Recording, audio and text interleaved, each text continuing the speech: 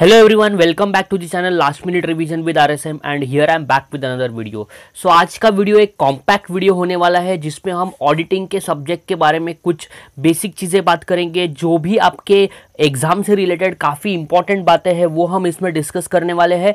और मैं आपको कुछ लास्ट में एज यूजल टिप्स भी देने वाला हूँ। तो वीडियो काफ़ी इंटरेस्टिंग होने वाला है। वीडियो को लास्ट तक देखें और अपने ऑडिटिंग से रिलेटेड सारे डाउट्स क्लियर करें। तो आइए स्टार्ट करते हैं।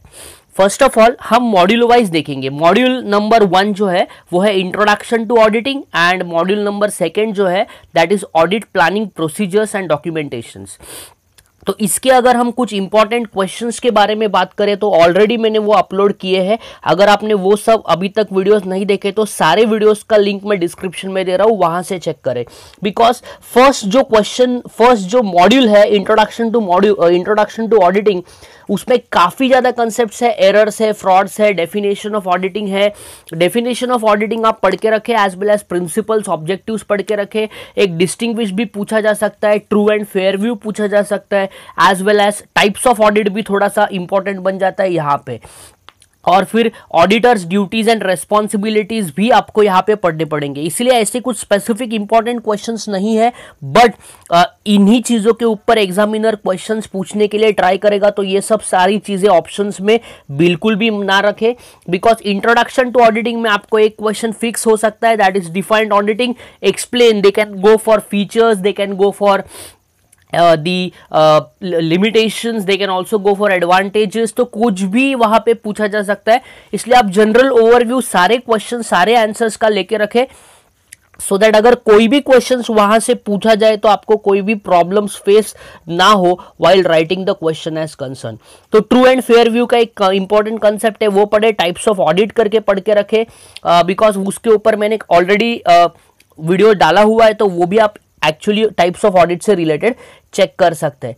तो ओवरऑल अगर हम देखें, इस चैप्टर में से फ्रॉड्स और एरर्स काफ़ी इंपॉर्टेंट क्वेश्चन बन जाता है बिकॉज़ फ्रॉड्स और एरर्स में शॉर्ट नोट्स पूछने के चांसेस बढ़ जाते हैं। तो अकॉर्डिंगली उसी बेस पे आप इस मॉड्यूल को पढ़ सकते हैं एंड अकॉर्डिंगली इसी से रिलेटेड सारे क्वेश्चंस आपके एग्ज़ाम के बेसिस पे पूछे जा सकते हैं। बाकी इस मॉड्यूल में ज़्यादा कुछ डिफ़िकल्ट चीज़ें नहीं है जिसमें आपको प्रॉब्लम्स फेस हो।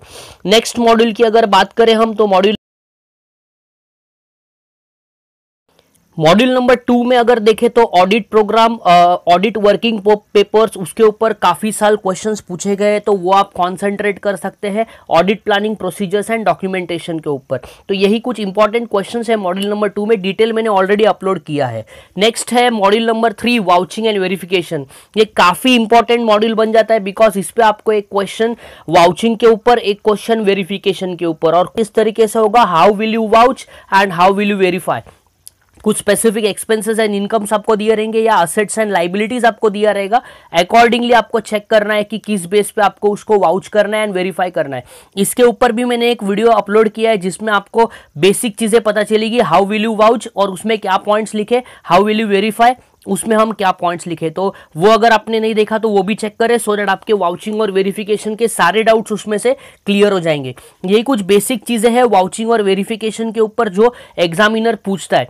बिकॉज़ वाउचिंग एंड वेरिफिकेशन ये ऑडिटिंग के टेक्निक्स है और इसमें वाउचिंग अगर हम देखें तो वो एक्सपेंसेस एंड इनकम्स का होता है एज वेल एज वेरिफिकेशन अगर देखें तो हम असेट्स एंड लाइबिलिटीज को वेरीफाई करते हैं। तो उसी के ऊपर क्वेश्चन पूछा जाएगा। कभी कभी क्वेश्चन कुछ इस तरीके से भी आ सकता है, जैसे हाउ विल यू वाउच या how will you verify and we can also see that question can be in this format what are the auditors responsibilities what are the auditors duties तो उस टाइप के ऊपर भी question पूछा जा सकता है वाउचिंग के ऊपर एज वेल एज वेरिफिकेशन के ऊपर। तो बहुत सारे एक्सपेंसेस और इनकम का आपको लिस्ट मिलेगा। वो अगर आप देखोगे तो काफ़ी आपको कंफ्यूजन होगा। इसलिए मैंने कुछ कॉमन पॉइंट्स बना के दिए हैं। वो कॉमन पॉइंट्स के बेस पे आप अगर लिखोगे तो that will be an easy point for all of you to write for vouching and verification answers has concern the next module is the module related to auditing techniques तो audit techniques internal audit and documentation and internal audit introduction basis पे यहाँ पे questions आ सकते हैं। Test checking एक point point है।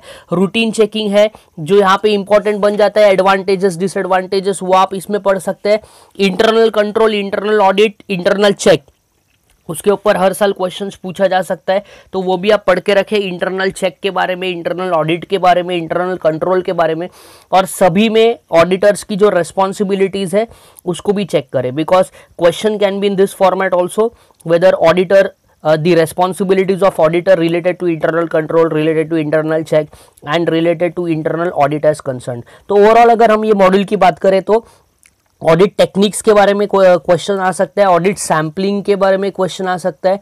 Internal control internal audit and internal check काफ़ी इंपॉर्टेंट बन जाता है। As well as test test checking के ऊपर भी क्वेश्चन पूछा जा सकता है। तो टेस्ट चेकिंग के ऊपर ऑलरेडी मैंने वीडियो अपलोड किया है। अगर आपने वो अब तक नहीं देखा तो वो भी चेक करें। सो दैट टेस्ट चेकिंग क्या होता है उसके रिलेटेड बेसिक्स जो क्या होता है वो भी सारे आपके क्लियर हो जाएँगे। सो so, ओवरऑल अगर हम मॉड्यूल नंबर फोर की बात करें तो यही सब चीज़ें इस पर कवर है जो आपके एग्ज़ाम से रिलेटेड इंपॉर्टेंट बन जाती है। तो these are the points as per the four modules as concern अब मैं आपको कुछ स्पेसिफिक टिप्स देता हूँ जो आप एग्ज़ाम के लिए यूज़ कर सकते हैं।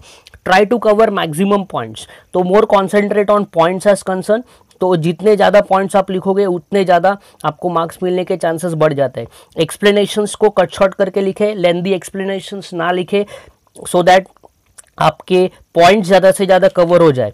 Focus on quality and not quantity only quantity पे फोकस ना करें। जो भी पॉइंट्स आपको पूछे, उसी से रिलेटेड एग्जैक्ट प्रिसाइज आंसर लिखे। अब अगर आपको टेस्ट चेकिंग के एडवांटेजेस पूछे तो आप एडवांटेजेस ही लिखे। अननेसेसरी कुछ भी बातें उसमें ना प्रेजेंट करें। तो इसलिए I always say that focus on quality not quantity ज़्यादा से ज़्यादा मैटर को क्वालिटी के बेस पे लिखे जो भी पूछा गया है उसी के बारे में इंफॉर्मेशन प्रेजेंट करना है आपको।